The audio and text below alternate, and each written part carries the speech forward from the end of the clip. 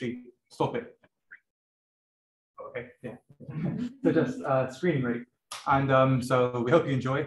I'm now going to pass over to Elsabet, who's really uh, nicely organized everything. And uh, yeah, thank you. So to you. Uh, can you guys hear me all right?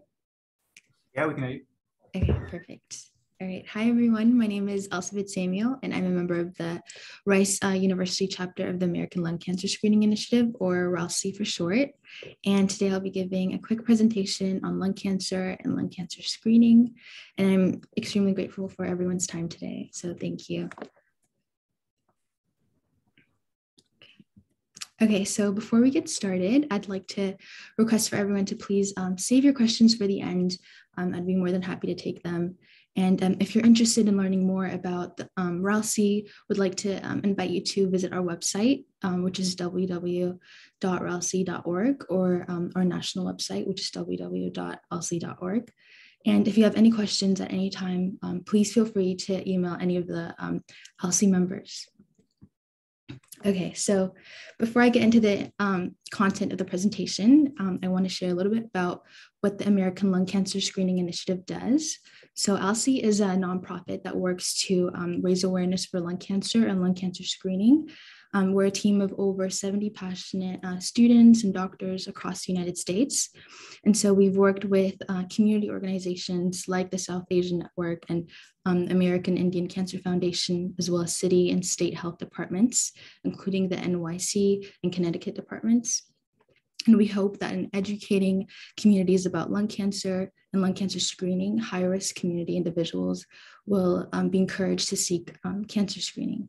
So today we'll discuss both lung cancer and lung cancer screening and address some of the questions such as how, um, how can someone get screened for lung cancer, what is lung cancer screening, um, and how to just go about the entire situation. Okay, so to start things off, uh, lung cancer is very common. Um, it's actually the second most common cancer in the US, excluding skin cancer. Uh, this graph shows the American Cancer Society estimates for the number of new um, cancer cases in 2022 um, in the United States for the four most common cancers. So as you can see, it's estimated that over um, 236,000 uh, people uh, will be diagnosed with lung cancer in 2022 in the US alone.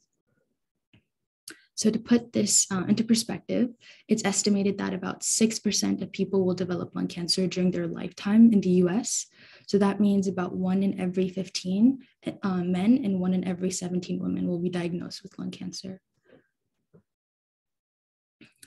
Okay, and so while the stats that we have uh, that we've been able to gather for the UK aren't as up to date, um, I would like to share some of them with you guys today.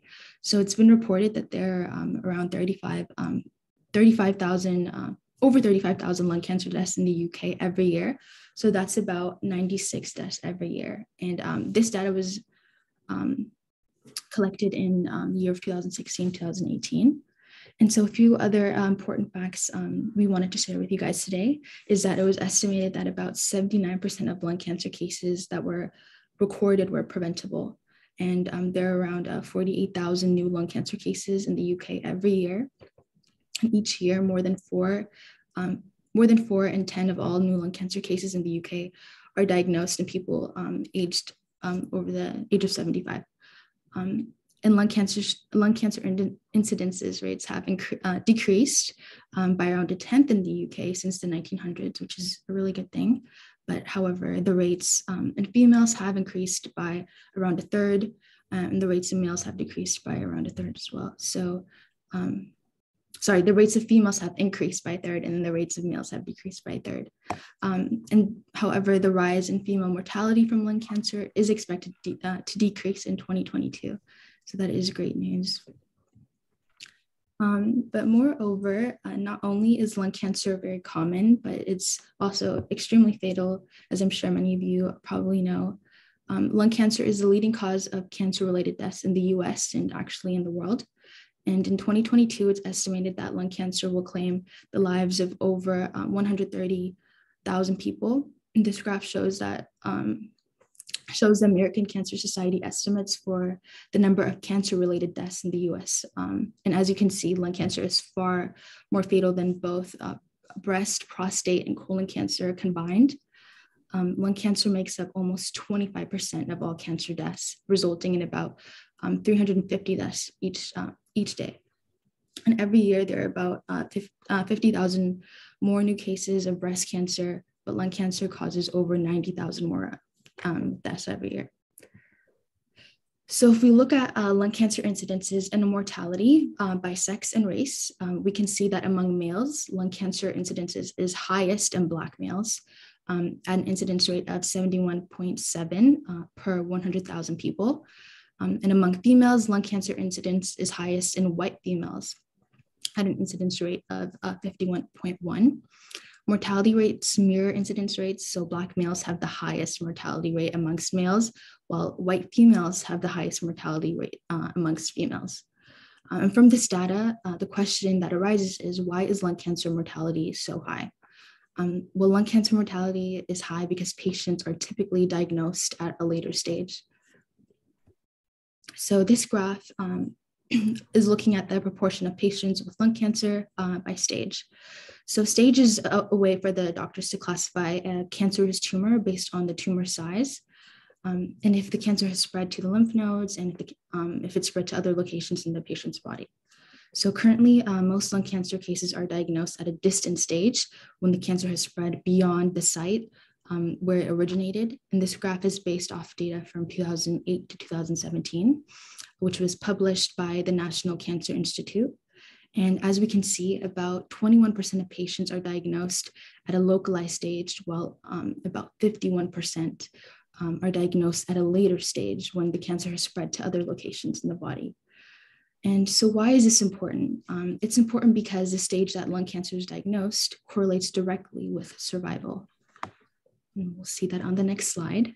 Okay, so uh, one way the doctors track the survival of patients is by looking at the five year survival.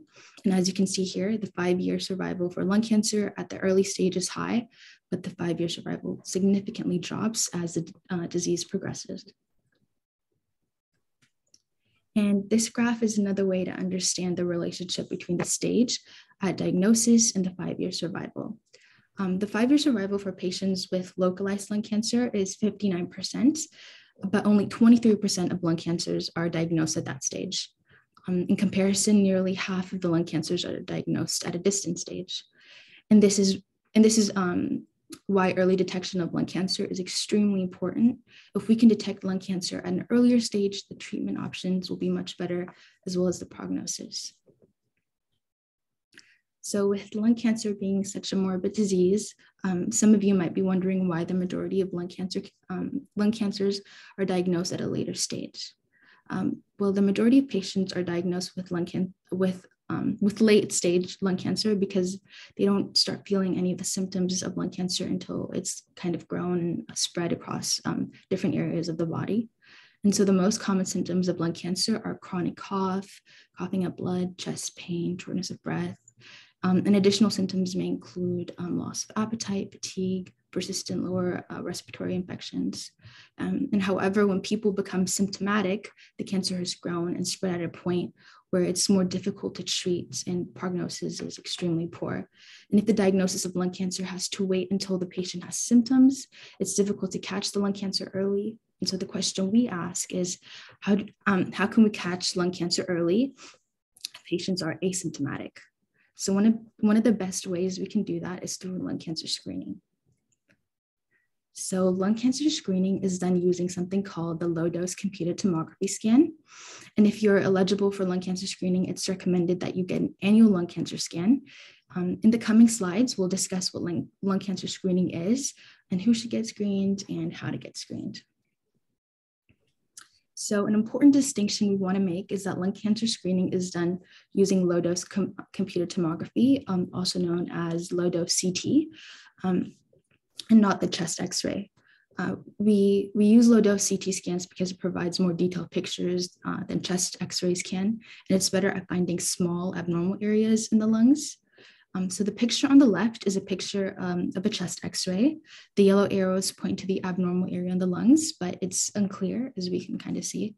And on the other hand, the image on the right is a picture of um, low-dose CT scans of the chest. The red arrow, uh, the red arrows point to the abnormal area in the lung, And as you can see, this image is much more detailed than the chest x-ray and enables us to kind of see that abnormal area in the lung with greater detail. Um, and so the question that researchers want, want to answer is how effective is low dose CT scans at detecting lung cancer at an earlier stage? An important lung cancer screening trial called National Lung Cancer Screening um, trial, trial, or NLST for short, tried to answer this question. So the NLST was a, um, a large national study with over 50,000 patients. And the goal of the study um, was to determine the effectiveness of uh, using low dose CT scans to detect lung cancer in patients considered high risk for a lung cancer. And so the study included two groups a group of patients who received annual low dose CT scans and a group of patients who received an annual chest x ray. Um, and by comparing the stages at which the cancers were caught between these two groups, the study uh, wanted to determine if low dose CT scans was a better way of catching more lung cancers at an early stage. And so, as we can see, um, of everyone diagnosed with lung cancer, the low dose CT scans caught the most lung cancers at an earlier stage, while the X ray diagnosed more patients at stage four. Um, this has important implications for survival because low dose CT scans caught more lung cancers at an early stage, and these cancers were um, more likely to be treatable, and the prognosis was much better in comparison. And this translates to about a 20% reduction in mortality for those who underwent lung cancer screening using those low dose CT scans compared to um, the X ray.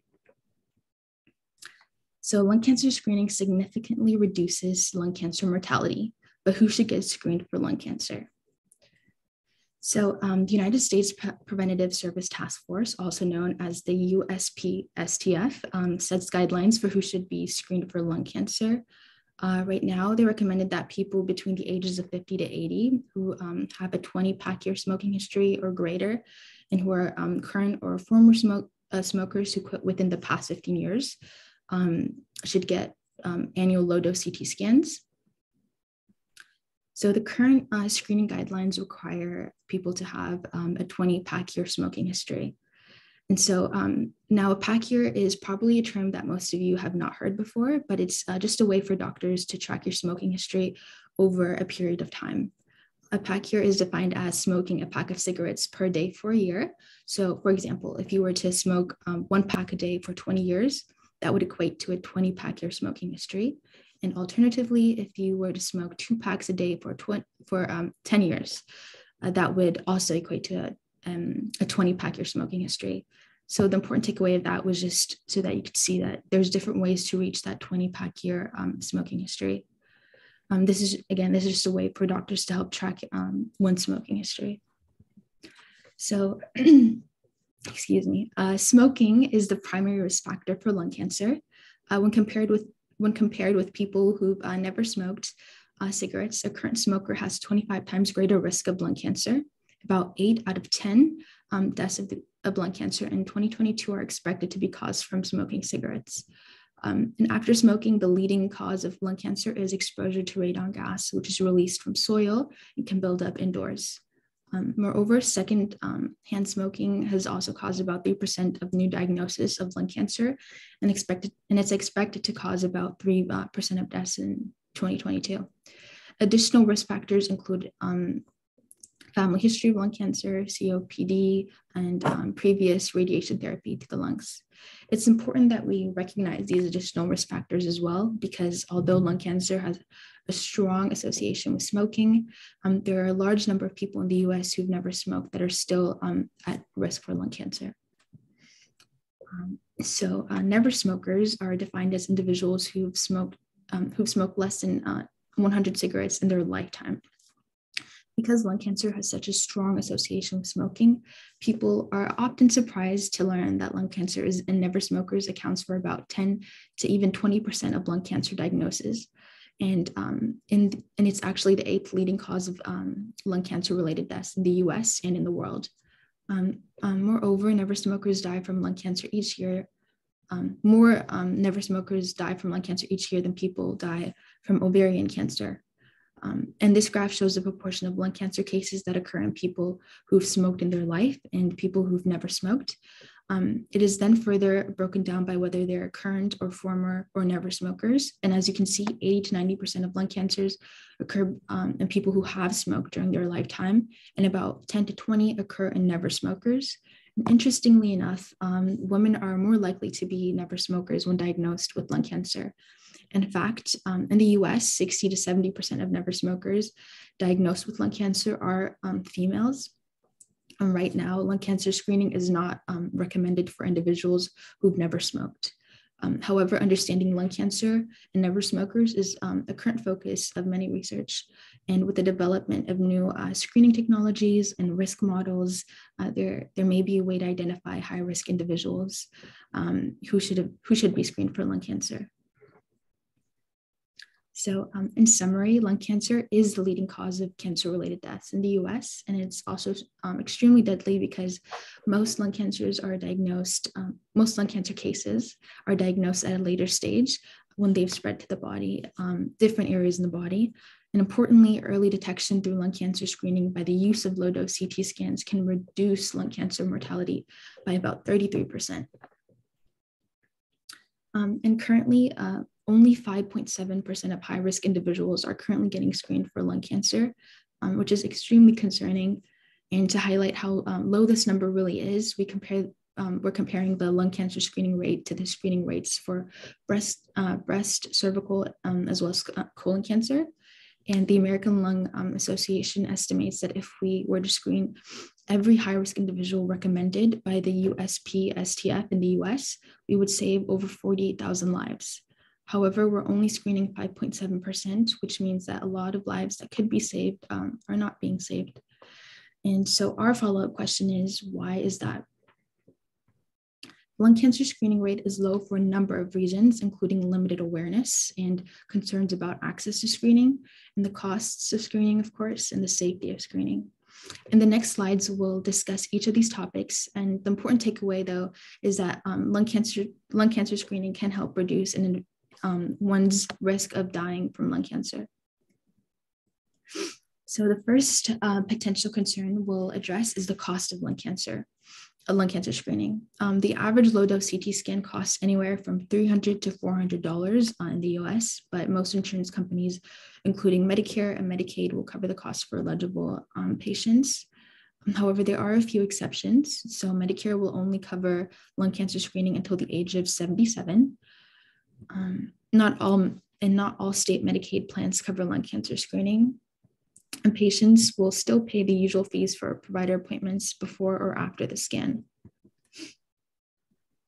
And as we uh, just mentioned, unfortunately, not all states' Medicaid plans cover lung cancer screening. Here's a map um, that was updated in September 2021, uh, showing which states Medicaid plans do and do not cover uh, lung cancer screening. Blue states have um, state medical plans that cover lung cancer screening, and the purple states, um, and in the purple states, their state Medicaid plan does not cover lung cancer screening. And in pink, um, we don't have enough information available at the moment. So um, the first step to getting a patient screened for lung cancer is having them talk to their primary care provider. Um, there are certain questions a primary care provider has to ask and topics that have to be discussed. Um, and one of these is the patient's PAC or smoking history, which we saw um, how to cal uh, calculate in the earlier slide. Um, I'll skip this slide. And as far as how the experience of getting a low dose CT scan goes, um, it will require you to lay on your back for about five minutes. Um, you'll be doing something very similar to the patient in the photo here. Um, and one thing to note is that this process will not hurt whatsoever um, because this is a low dose CT scan. Um, and this means that there will there won't be like there won't be any needles it will be non-invasive and it'll be quick um, less than five minutes and the low dose ct scan um, is extremely fast and com- completely painless so the additionally the amount of radiation um, that you're exposed to if that's a concern is also extremely low uh, so a low dose ct scan exposes you to less radiation than you're exposed to from just existing on earth uh, which means that the level of radiation you receive from the annual lung cancer screening test is very small. Uh, with that being said, uh, this is always something that patients can discuss further with their um, uh, primary care um, providers if they are concerned. And a question we get often is how vaping and e-cigarettes use uh, e-cigarettes use affects lung cancer risks. So vaping and e-cigarettes are relatively uh, a new phenomenon and have become more prevalent in the last decade. And while the long long-term effects of vaping and e-cigarettes are still being studied, um, it's clear that for individuals who've never smoked before, um, they're who have smoked um, e-cigarettes before are at an increased risk for lung cancer. And e-cigarette devices and vaping fluids contain nicotine derivatives and heavy metals, among other chemicals. And these arise both as elements of e-liquid and as, and as a result of organic reactions. Um, in the electronic cigarette device, various studies um, have demonstrated in vitro uh, tr um, transforming the activity of these derivatives and vaping vaping causes fewer health risks than smoking but it's not a risk uh, free activity. And so that's important to consider. Um, vaping can increase the heart the heart rate decrease air volume in the lungs and increase airway resistance. And furthermore e-cigarette devices um, use has been significantly increasing particular, particularly among young adults and non-smokers um, making an area of significant concern for our future and as this presentation comes to a conclusion, um, I want to end on what we, the American Lung Cancer Screening Initiative, are currently doing and have been doing to um, increase the awareness and education and advocacy efforts necessary to increase lung cancer screening rates. Uh, lung cancer is the deadliest cancer in the world, and while lung cancer screening has can save can save so many lives. Very few high risk individuals are currently getting screened, and we're working to address all aspects of this issue we wrote and actually advocated for House and uh, Senate resolutions expressing support for lung cancer um, awareness month and, and um, early detection through lung cancer screening. And last December, our Senate resolution was um, passed uh, with consent. And additionally, we were working to uh, teach communities across the country about lung cancer and lung cancer screening. Um, in lung cancer, as I've mentioned is the deadliest cancer in the world. But by working together, we can overcome and save so many millions of lives together. And it starts by working to raise awareness and initiate lung cancer screening programs within our communities. Um, and we believe that uh, by educating community members, especially students, um, about lung cancer and lung cancer screening, it's, um, this is a crucial way of lowering the number of deaths associated with this disease.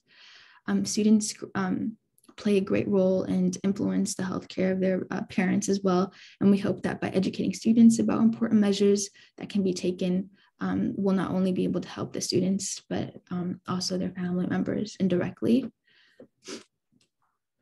Um, and yes, now I want to open the floor to any questions that you guys may have, and I can do my best to answer them. Um, thank you all for your time. I'm extremely grateful um, to have been able to present to you all today but yeah, if you guys have any questions, please feel free to ask. Um, and if there's any questions that I'm not able to answer, um, I'll be more than happy to um, speak to some of the other ALCSI members and send a follow-up email. Great, thank you very much. I think that deserves a round of applause. Thank you. Are there any questions for us?